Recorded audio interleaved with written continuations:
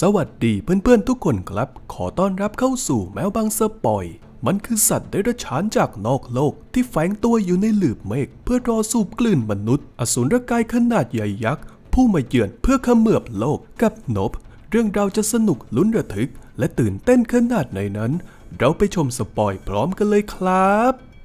มันสมเหตุสมผลนะ ที่หลายๆ คนจะเชื่อว่าทั้งจักรวาลไม่ได้มีแค่ดาวโลกที่มีสิ่งมีชีวิต เราคงไม่โชคดีขนาดนั้น จัวหัวมาแบบนี้เพื่อนๆหลายคนคงรู้แล้วว่า หนังเรื่องนี้เกี่ยวกับผู้มาเยือนจากนอกโลก ถ้าพูดถึงยานเอเลี่ยน หลายคนคงนึกภาพ ยานอวกาศทรงกลมลำยักษ์ที่คอยดูดมนุษย์ไปทดลองแน่ๆ แต่หากผมจะบอกว่าเจ้าสิ่งนั้นไม่ใช่ยานละ่ะ ถ้าผมจะบอกว่ามันคือสัตว์เดรัจฉานที่มาจากนอกโลก ซุ่มรอคอยเขมือบเหยื่อตามสัญชาตญาณเท่านั้น คุณจะมองมันเปลี่ยนไปใช่ไหม หนังพยายามสื่อถึงความน่ากลัวเกี่ยวกับสัตว์ป่าที่ไม่ว่าจะคุ้นชินกับมนุษย์มาก มันก็เป็นสัตว์ป่าวันยังคำอย่างเช่นกรณีของเจ้ากอดีชิมแปนซีที่เกิดคลั่งในขณะถ่ายทำซีรีส์มันเขมือบใบหน้าของดาราหญิงคนหนึ่งจนเละ ที่ผมจะบอกคือมันเป็นสัตว์ คนเราห้ามหันหลังให้หมี ห้ามใส่สีแดงต่อหน้ากระทิง กับสัตว์บางชนิดอย่าสบตามัน นอกเสียจากคุณอยากจะโดนมันงับ และทริคพวกนี้มันก็ใช้ได้กับสิ่งที่มาจากนอกโลก เรื่องราวมันเกิดขึ้นที่ฟาร์มเลี้ยงหมา จู่ๆก็มีสิ่งของจำนวนมากตกลงมาจากท้องฟ้า หนึ่งในนั้นคือเหรียญมันตกลงมาโดนตาพ่อของโอเจ แรงดิ่งทำให้เหรียญฝังลึก ส่งผลให้สมองตาย พ่อของโอเจจึงเสียชีวิต จากเหตุการณ์นี้ฟาร์มของโอเจจึงขาดรายได้ เพราะเขาทำงานคุมม้าได้ไม่ดีเท่าคุณพ่อ เขาจึงถูกเลิกจ้าง โอเจขายม้าของพ่อไปเยอะมาก หลายสิบตัวเพื่อประทังชีวิต เขาขายม้าให้ลินจูบลินจูบเป็นเจ้าของสวนสนุกสไตล์ชาวไร่ ที่อยู่ไม่ไกลจากฟาร์มของโอเจนัก และเขายังเป็นหนึ่งในนักแสดงที่อยู่ในเหตุการณ์สุดระทึก ตอนที่กอดดีคลุ้มคลั่งจนกองถ่ายซีรีส์โชกไปด้วยเลือด โดยแมรี่โจเอลเลียตดาราหญิงและเหยื่อผู้สังเวยใบหน้าให้กับเจ้ากอร์ดี้ชิมแปนซีคลั่ง เธอเป็นเพื่อนสนิทจูป และวันนี้เธอมาชมการแสดงด้วย และหนึ่งในโชว์ที่เป็นจุดขายของลินจูป คือการแสดงโชว์เอเลี่ยนดูดหมา เขาจะปล่อยหมาให้วิ่งเข้าไปในอาณาเขตที่เอเลี่ยนออกล่า เจ้าหมาจะลอยขึ้น และหายเข้าไปในกลีบเมฆแต่ม้าตัวนี้มันกลับไม่ยอมวิ่ง เอเลี่ยนจึงเป็นฝ่ายบินมาหามา และสิ่งที่ลินจูบไม่คาดคิดก็เกิดขึ้น ทุกสิ่งมีชีวิตที่อยู่ตรงนั้น โดนสูบกลืนเข้าไปในท้องของอสูรยักษ์ที่มาจากนอกโลก ผ่านไปไม่นานนัก โอเจมาหาลินจูบ แต่เขากลับพบเพียงม้าที่อยู่ในตู้ เอเลี่ยนยังวนเวียนอยู่แถวนั้น มันพุ่งลงมาพยายามสูบกลืนโอเจ แต่โอเจหลบอยู่ในคอกหมา เขาจึงรอดมาได้นี่ไม่ใช่ครั้งแรกที่โอเจเผชิญหน้ากับเอเลี่ยน ก่อนหน้านี้ เขาเห็นมันบินวนเวียนอยู่แถวบ้าน โอเจกับเอ็มน้องสาวเขาจ้างแอนเจลมาติดกล้อง โอเจกะจะถ่ายคลิปเจ้าเอเลี่ยน เพราะหากถ่ายติดมันได้ พวกเขาจะกลายเป็นคนดังและรวยเละ แต่เห็นได้ชัดว่ามันไม่ได้ง่ายอย่างที่คิด โอเจตื่นขึ้นมาในคอกหมา ตอนนี้เจ้าเอเลี่ยนไม่อยู่แล้ว ถ้าแถวนี้คืออาณาเขตที่มันออกล่า นั่นแปลว่า บ้านของเขาก็อยู่ในอาณาเขตของมันด้วย โอเจพยายามโทรเตือนเอ็มและแองเจลที่อยู่ที่บ้าน แต่ดูเหมือนจะสายไปแล้ว เจ้าเอเลี่ยนมาถึงแล้ว มันลอยอยู่บนหลังคาบ้าน มันเพิ่งดูดกลืนคนที่สวนสนุกของลินจูปบางคนยังไม่ตาย เสียงกรีดร้องดังออกมาจากช่องท้องของเอเลี่ยน พลิบตาเดียวเสียงโหยหวนเหล่านั้นก็เงียบ เป็นเวลาเดียวกับที่เอเลี่ยนสำรอกสิ่งที่มันกินไม่ได้ออกมา เลือดที่ไหลอาบไปทั่วทั้งบ้าน บ่งบอกได้อย่างชัดเจนว่าคนที่ถูกมันสูบกลืนเข้าไปนั้น คงโดนบดขยี้จนกลายเป็นเศษเนื้อ เครื่องยนต์และเครื่องใช้ไฟฟ้าทุกชนิดที่อยู่ใกล้เอเลี่ยนจะใช้การไม่ได้ โอเจได้แต่รออยู่ในรถจนถึงเช้า แต่เจ้าเอเลี่ยนยังวนเวียนอยู่แถวบ้าน อย่างที่บอกครับกับสัตว์บางชนิดอย่าสบตามันนอกเสียจากเราอยากจะโดนมันงับ และทริคนี้ใช้ได้กับเจ้าสิ่งที่มาจากนอกโลก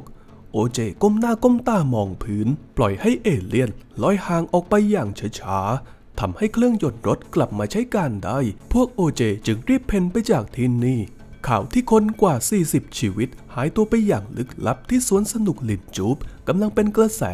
ผู้คนอยากรู้ว่าเกิดอะไรขึ้น รวมถึงชายคนนี้ เขาคือแอนท์เลอร์ ช่างถ่ายภาพอันดับ top ในวงการฮอลลีวูด พวกโอเจยังคงไม่ล้มเลิกที่จะถ่ายคลิปเอเลี่ยน แต่ทุกครั้งที่มันเข้าใกล้ เครื่องยนต์และเครื่องใช้ไฟฟ้าจะใช้การไม่ได้ทำให้ถ่ายคลิปมันไม่ได้ แต่แอนท์เลอร์เขาผลิตกล้องถ่ายภาพระบบมือหมุนไม่ต้องใช้ไฟฟ้า หลักการเดียวกับไฟฉายมือหมุนของนักเดินป่านั่นแหละครับ แบบนี้จะต้องถ่ายติดเจ้าเอเลี่ยนแน่ พวกเขาตั้งชื่อเอเลี่ยนว่าจินแจ็คเก็ต แผนคือพวกโอเจจะวางตุ๊กตาลม sky tube ไว้เต็มพื้นที่ หากจินแจ็คเก็ตลอยเข้ามาใกล้ sky tube จะหยุดทำงาน โอเจจะขี่ม้าเพื่อหลอกล่อจินแจ็คเก็ตมายังตำแหน่งที่แอนท์เลอร์สามารถถ่ายคลิปได้ เพียงเท่านี้พวกเขาก็จะได้คลิป ยืนยันการมีอยู่ของอสูรยักษ์จากนอกโลก ในขณะที่กำลังทำตามแผนที่วางไว้ หมอใส่ลึกลับก็แหวนเข้ามาในพื้นที่ ชายคนนี้เป็นนักข่าว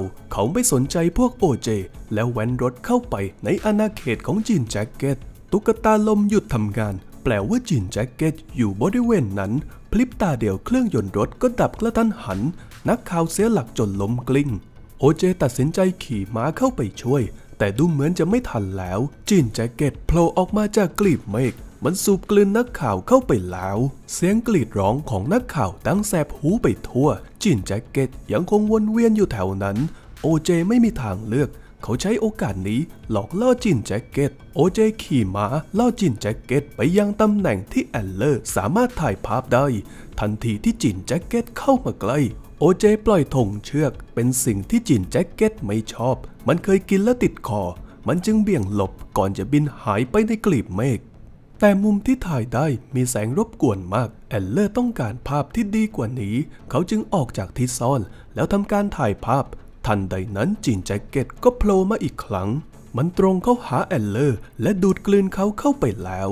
มันกำลังจะดูดกลืนแองเจิลแต่ทันทีที่มันรู้ว่าเอ็มกำลังมองมันอยู่นั้น มันก็พุ่งตรงไปหาเธอ และพยายามดูดกลืน โชคดีที่เอ็มรอดมาได้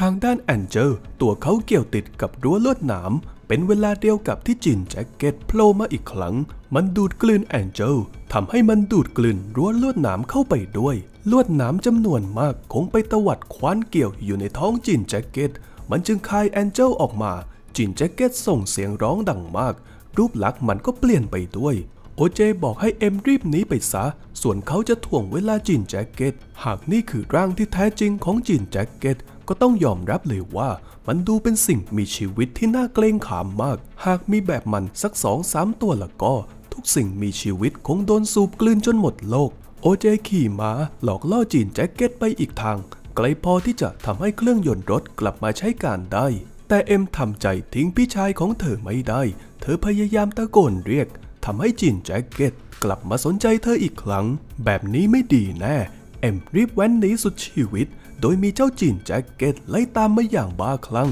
เอ็มหนีมาจนถึงสวนสนุกของลิลจูป เธอพยายามไม่อยู่ในที่โล่ง ทันใดนั้น เธอก็คิดแผนดีๆออกแล้ว เธอทำการปล่อยบอลลูนรูปลิลจูปขนาดใหญ่ยักษ์ ในบอลลูนอัดแน่นไปด้วยแก๊สจำนวนมากและที่สำคัญบอลลูนลิลจูปมีตาด้วยจินแจ็คเก็ตเห็นดังนั้น มันจึงไม่รอช้า มันเขมือบบอลลูนลงท้อง ทันทีที่บอลลูนถูกบีบจนระเบิดในช่องท้อง ร่างกายของจินแจ็คเก็ตก็ฉีกขาดจนหมดสภาพ ไม่นานนัก นักข่าวก็แห่มาที่นี่ และที่สำคัญโอเจก็รอดชีวิตมาได้ด้วย ยิ่งไปกว่านั้นในที่สุดพวกเขาก็ถ่ายภาพเจ้าจินแจ็คเก็ตได้ ก็จบกันไปแล้วครับกับนบเพื่อนๆรับชมแล้วมีความคิดเห็นอย่างไรกันบ้าง ก็สามารถพูดคุยแลกเปลี่ยนความคิดเห็นใต้คลิปได้เลยครับ และเช่นเคยครับถ้าชอบก็อย่าลืมกดไลค์กด Subscribe กดกระดิ่ง พื่อที่จะไม่พลาดคลิปดีๆ ในช่องแมวบัง และเพื่อเป็นกำลังใจให้ผม ได้ทำคลิปดีๆ แบบนี้ต่อไป